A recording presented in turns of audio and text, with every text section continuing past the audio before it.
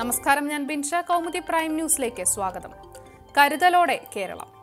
സംസ്ഥാനത്ത് കനത്ത മഴയ്ക്ക് സാധ്യതയെന്ന് കാലാവസ്ഥാ നിരീക്ഷണ കേന്ദ്രം. ലക്ഷദ്വീപ് തീരത്ത് അറബിക്കടലിൽ രൂപം കൊണ്ട ന്യൂനമർദ്ദം മുപ്പത്തിയാറ് മണിക്കൂറിനുള്ളിൽ ശക്തിപ്പെടും. തീരപ്രദേശത്ത് താമസിക്കുന്നവരും മത്സ്യത്തൊഴിലാളികളും അതീവ ജാഗ്രത പാലിക്കണമെന്ന് നിർദ്ദേശം.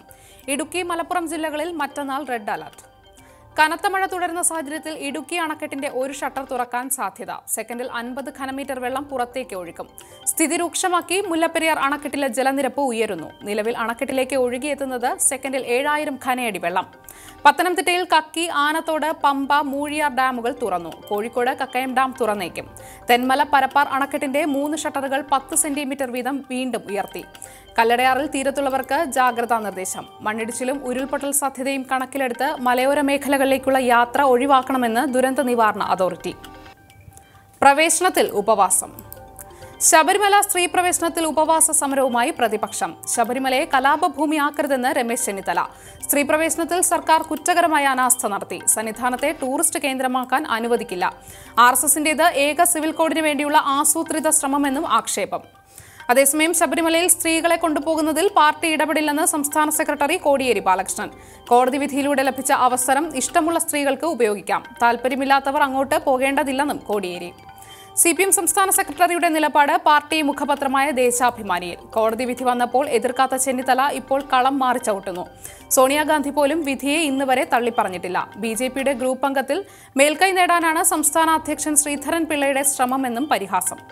അതിനിടെ ശബരിമലയിൽ സ്ത്രീ സുരക്ഷ ഉറപ്പാക്കാൻ അന്യ സംസ്ഥാനത്ത് നിന്ന് വനിതാ പോലീസുകാരെ വിട്ടു നൽകണമെന്നാവശ്യപ്പെട്ട് കത്തയച്ച് D G P Loknath Behera.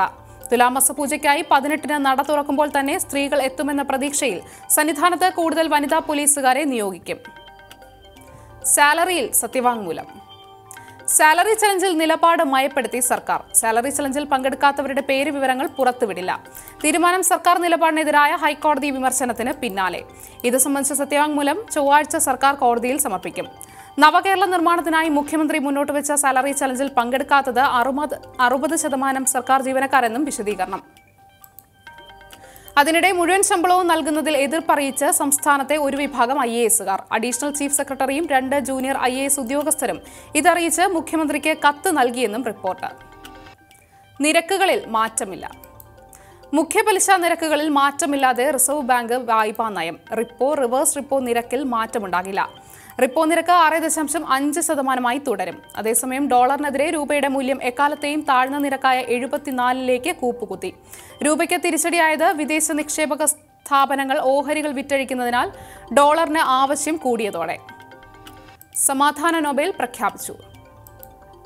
ഈ വർഷത്തെ സമാധാനത്തിനുള്ള നൊബേൽ പുരസ്കാരം കോങ്കോയിൽ നിന്നുള്ള ഡോക്ടർ ഡെനിസ് മുഖ്വേജിനും ഇറാഖിൽ നിന്നുള്ള നദിയ മുറാദിനും. യുദ്ധകാലത്തെ ലൈംഗിക അതിക്രമങ്ങൾക്കെതിരെ പ്രവർത്തിച്ചതിനാണ് ഇരുവർക്കും നൊബേൽ സമ്മാനം ലഭിച്ചത്. രണ്ടായിരത്തി പതിനാലിൽ ഐ എസ് തീവ്രവാദികൾ തട്ടിക്കൊണ്ടുപോയ നദിയെ തിരിച്ചെത്തിയത് കഴിഞ്ഞ വർഷം.